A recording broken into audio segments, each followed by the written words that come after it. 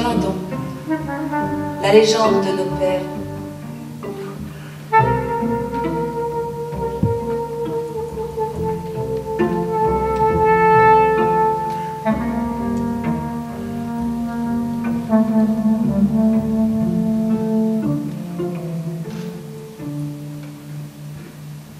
On fait son deuil. C'est effroyable, mais on le fait.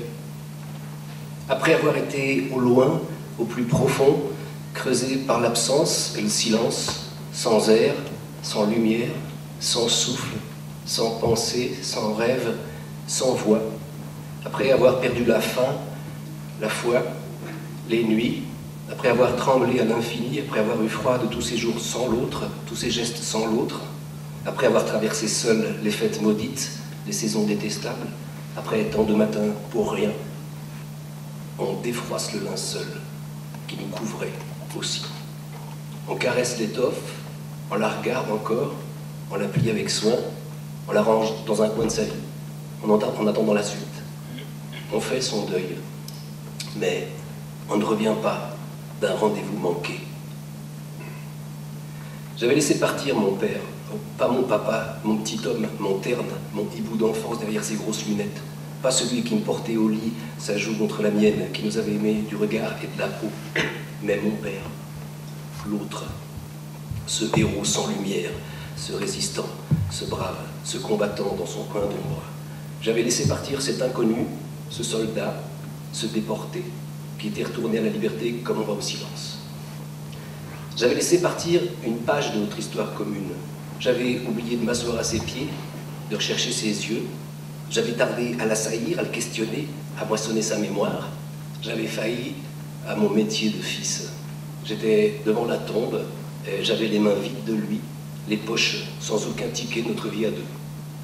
Sans l'avoir su, je partageais mon enfance avec un héros, et moi je jouais du clairon pour empêcher sa voix.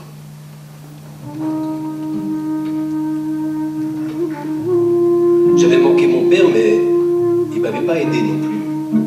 La paix l'avait rendu à la vie simple, au souvenir de peu de mots. Il se mêlait rarement aux célébrations communes. Il commémorait à regret.